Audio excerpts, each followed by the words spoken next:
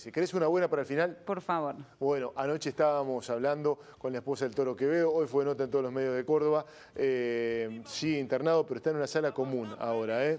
Bueno, bienvenido Está en una sala común, con suero, mejora en general, pero también ha mejorado mucho su respiración, sigue aislado, está consciente y lúcido. Bueno, la gente siguió muchísimo la noticia cuando la subimos anoche a las redes, así que una buena, ¿qué le parece? Muy buena noticia para cerrar la semana y como anticipo para el fin de semana también, nos alegra mucho que haya dejado, bueno, la sala de cuidados intensivos, ella esté en una sala común, ojalá muy pronto le den el alta, lo importante es que se sienta bien. Sí, bueno, eh, y también por otro lado recibimos la novedad de que muchos bailes de cuarteto han sido suspendidos este fin de semana en todo el ámbito de la provincia y también aquí en nuestra región. ¿eh?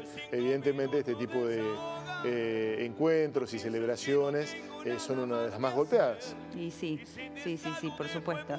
Esta franja horaria que se había extendido hace poco tiempo y que a toda la gente de la noche le había permitido volver con ciertos protocolos, bueno, ahora les está imponiendo un nuevo desafío que será empezar más temprano, pero la gente que ya tenía fechas para este viernes, para este sábado, eh, no tuvieron mucha cintura para organizarse, así que muchos de los bailes eh, debieron ser suspendidos. Por lo demás, habrá que empezar más temprano. Gracias, Marina. Chau, hasta el lunes. Buen fin de semana.